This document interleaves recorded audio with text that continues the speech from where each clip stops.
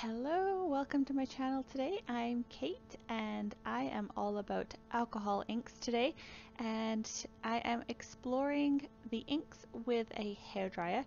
So let's see what fun we can have. Stick around and that's coming up next.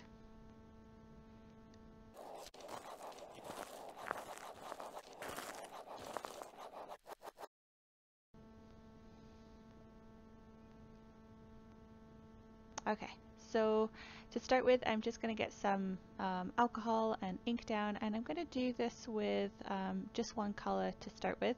I might add in a second color afterwards. So I've got that ink and um, alcohol, 99% alcohol moving around um, the ink, and I'm just going to push it a little bit more with the straw. And I'm going to get my hairdryer out in a minute, but I just wanted to get a bit of a base down to start with. Nothing with any design or thought really, just a nice thin layer of ink. I'm using probably the um, Ranger ink. This is a denim. I love the denim. There's so many cool colors that come out of it. Um, you don't even need to add any other colors really. Um, it's just a really, really nice color that comes through. You get those um, kind of really vibrant pale blues and then you also get like these pinks and purples that come through as well depending on how thick or diluted the ink is. So so yeah just building up my base. Getting a variation of color down.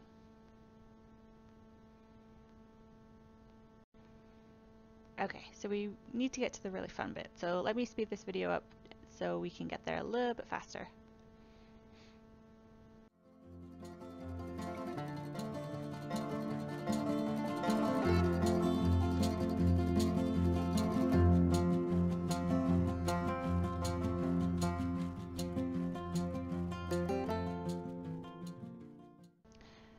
yay, now for the fun bit. Um, let's get everything kind of organized here and we're going to get our blow dryer out and we're just going to start blow drying directly on top. I just want to start moving those, um, what's just a little bit wet still, just move that around to start with and we've already got a really nice base. I usually like to do a base because when you start to do this other um, kind of work with the hair dryer.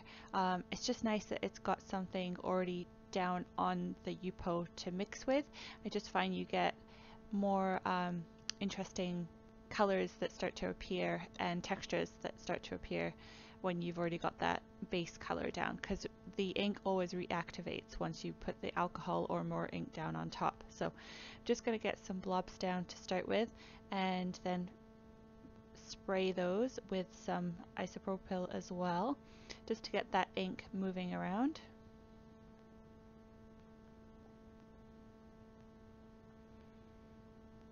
Hmm.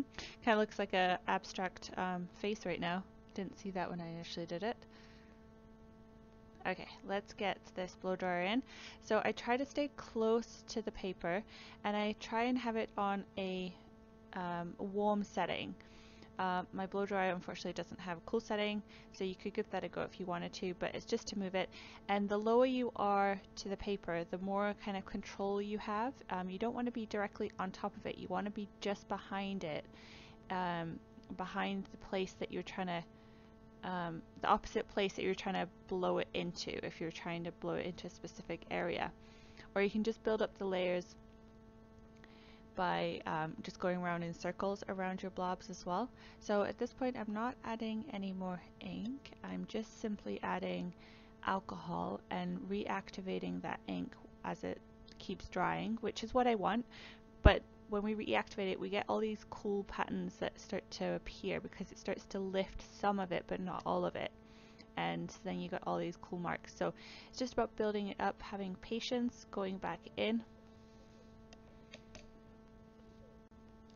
Then when you're ready, you can add some more ink from the um, from the bottle, straight from the bottle, and then add more alcohol to that. So we're constantly adding the isopropyl alcohol as well. It just helps that ink to move a little bit more, and that's when we start to get these really cool colors. So I started off really thin in the background, and I'm starting to build up some color by um, going between some of the isopropyl and sometimes the ink as well. Um, and I'm just really close to the paper and just trying to push it up in the direction. So I start below it and then as it moves away from me I'll kind of follow it and chase it so that it continues to go in the direction that I want it to go. And sometimes I just only add the isopropyl alcohol as well because I really want to just get that ink moving, get those really cool patterns that start to appear. And you get more of this happening when you add the alcohol. I find if you start adding too much ink right in the beginning, um, you just end up with a lot of heavy, heavy ink everywhere. And it's when it's thinned out that you really get those cool colors. So I have only used one color at this point, but you can already see that there's like that dark blue, there's a medium blue, then there's a really um, light blue in there as well, but then there's also some shades of purple and pink, which are really, really nice. And that's just all from the one ink by Ranger, um, which is called Denim. So if you haven't discovered this color yet, I would put it on my priority list to buy it because I it's one of my favorites. Um, along with eggplant and black, that those two are also my favorites as well. What is your favorite color? Do you have one or do you have a favorite color combo? You should put those in the comments below. I'd love to um, learn other combinations as well um, from you guys. So let me know if you have your favorite. Pop that in the comment below. Okay, let's try and move a little bit more of the pure ink. You see, you don't get the same cool effect. So it definitely has its place, but I'm going to add more alcohol to it just to help push it around a little bit more and get some really cool marks. So I'm going to leave this with you. I will come back at the end, but just so I'm not waffling throughout, um, I will let you watch in peace and I will talk to you in a minute.